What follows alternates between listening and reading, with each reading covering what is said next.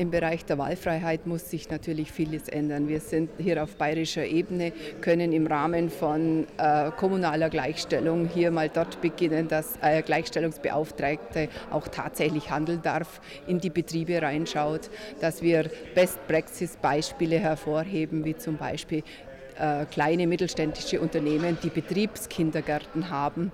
Das sind ganz große Herausforderungen und natürlich auch in der öffentlichen Hand, im öffentlichen Dienst, in den Kommunen, in den Landkreisen bis hier in die Ministerien, dass wir hier eine echte Gleichstellung haben.